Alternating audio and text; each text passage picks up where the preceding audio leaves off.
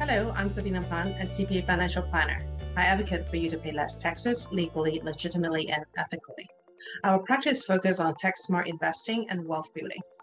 Today, I'd like to make sure you are protecting your gain by placing or maintaining sell stop orders on your stock or ETF holdings. I often advise you to have a sell stop orders in place in order to ensure you lock in profits on positions that have gone up. I want to make sure you protect your gains in case the market declines sharply. This is always a part of investing strategy, but it's even more important now.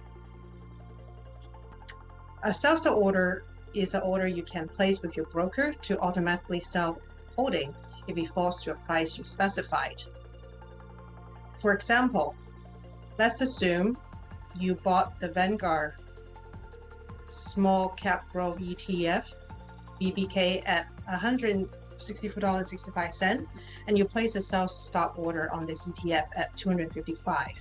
VBK is above 255 now, but if you were to fall to 255, your sell stop order would trigger your broker to automatically sell it.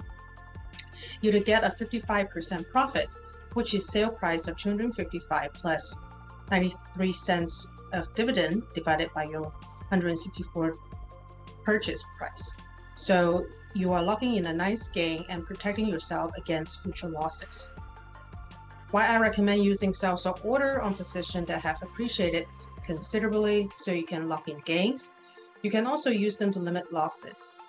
For example, we have a sell stop of 1175 on the Nuveen S&P 500 buy right income fund, BXMX. We bought BXMX at $13.51 and if the stop order gets executed, we will lose money, but our losses will be minimal. In this case, we're using a sell stop to protect us from a sharp decline. If you find this video useful, please click on like, subscribe, and forward to those who may also benefit from this tutorial. Please also head to baycpaplus.com to sign up for our email newsletter for the tips for less taxes and more investment returns.